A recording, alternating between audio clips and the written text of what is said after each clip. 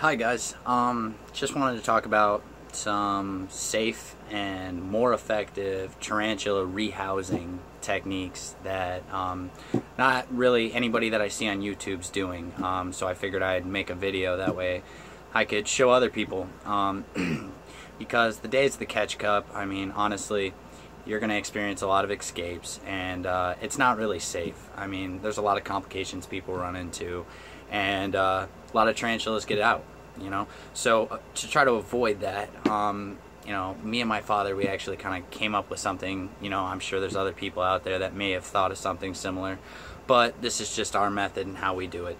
Um, and I'm going to demonstrate, obviously not with one of my real tees, because um, I don't want you know anything to go wrong. But um, here we are with one of my enclosures I made, just some glued orchid bark to the back on a clear store, kind of Exo Terra feel. Um, anyways, the whole method of what we do, that seems to be a lot more foolproof than, you know, coax it into a catch cup and hope for the best. Um, so let me demonstrate. Um, we have our lid on our clear store. You take that off and then what I use is just some gallon Ziplocs and what you do is you take your Ziploc, you secure it around the base of your clear store. You got your tarantula in there, you're wanting to rehouse, you quickly put your Ziploc over top and then you tighten it down, get a little bit of a twist on it. It might take a little bit of playing, but if you have it on there and you get it on there quick, you shouldn't have to worry about anything getting out on you while you're doing it. Um, now, the way I like to do it for securing is just kind of take my bag and crumple it, not inside the cage, but just to the top, and then take my hand over top of it and a rubber band. And it's a quick seal. It's going to tighten down that bag, put it nice and secure over top of there. So that's not coming off.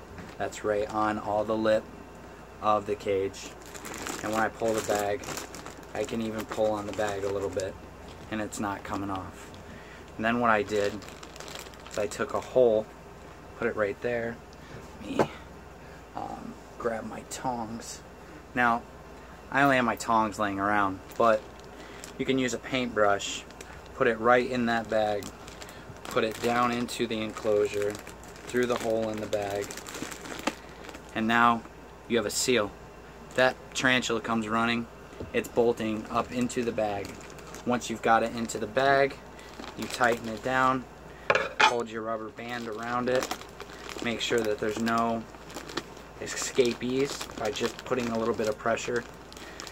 You can even take your tweezers, put it across, hold it, pinch it closed if you're worried about your fingers.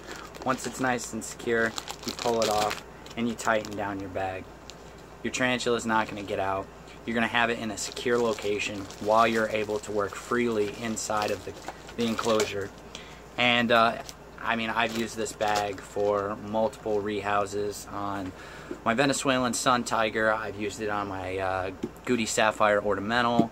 Um, I've also used it on my OBT. So with that being said, it's effective with some of the most aggressive, fast, dangerous species. You're still going to be able to get them into this bag, pinch off the bag, seal it, and then have free range to work within the enclosure. Put the bag back on, coax it back in, and put your lid on, and you're all done. Alright guys, well, I hope this was informative and I hope it helped.